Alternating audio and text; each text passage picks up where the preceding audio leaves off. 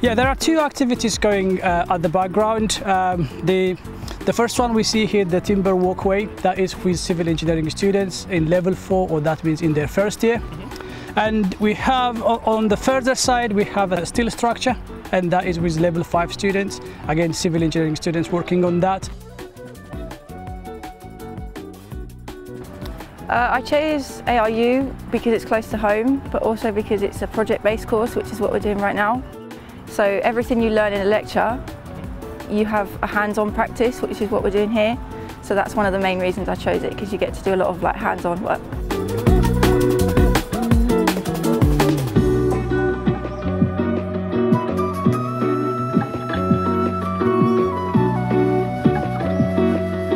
Yeah, today stu students are actually coming out and doing construction processes for several reasons.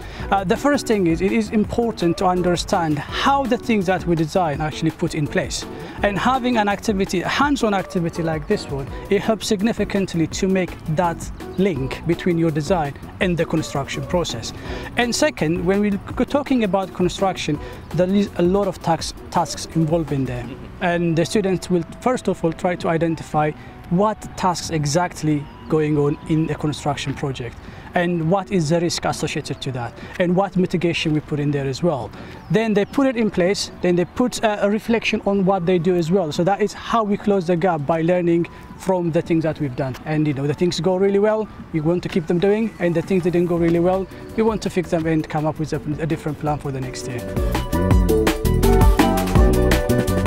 I'll say take the risk sometimes, you know, sometimes I've actually decided, you know, if I should come to uni or do a degree apprenticeship or, you know, um, do something else. But I was like, you know what, let me just go into uni, do what I can do best, and let's see what the future has for me.